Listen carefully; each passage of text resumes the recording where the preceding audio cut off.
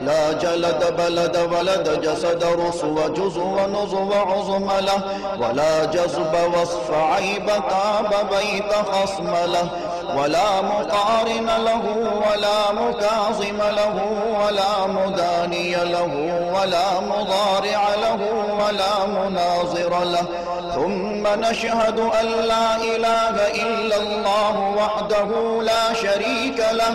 من يشرك في ذاته وصفاته وعاداته وآياته يتبرك بغيره من نبي وولي وتقي ونقي ونسيم وحسين وحسين وجميل وصغير وكبير فعليه الخسران والوبال.